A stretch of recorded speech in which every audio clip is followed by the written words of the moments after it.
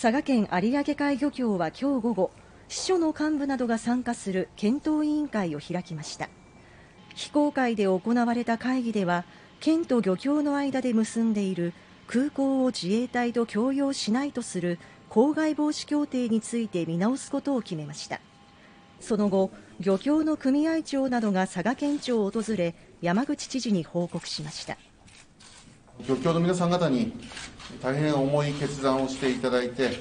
大変感謝をしております。苦渋の選択でですね、まあ、皆さんから全員一致で賛同がもらいましたから。